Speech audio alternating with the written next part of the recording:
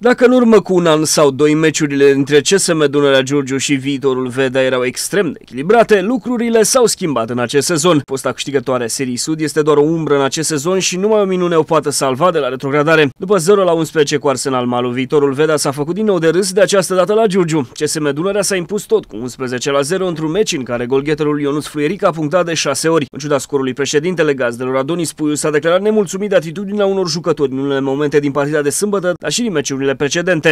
Am animat puțin așa competiția cu largul nostru concurs, pentru că știți cum e fotbalul atunci când ești relaxat, nu cred că este ceea ce trebuie, când joci cu puțină presiune, că așa este fotbalul nostru, în special fotbaliștii români. Nu mai zic de greșeli tactice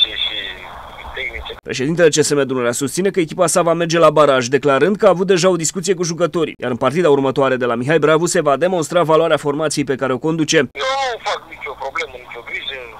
Știți, mai sunt oameni teoretic și cei de la izvoar le speră, dar știți cum e, foarte Mergem acum la etapa la Mihai Bravu și chiar am avut o ședință să după cu băieții și o să demonstrăm că merge să luăm 3 puncte. În acest moment CSM Dunărea Giurgiu ocupă locul 2 în seria Sud la egalitate de puncte cu Arsenal Malu, dar gol averaj inferior. Echipa municipalității are însă prima șansă la clasare pe primul loc având avantajul rezultatelor directe cu tunarii din Malu.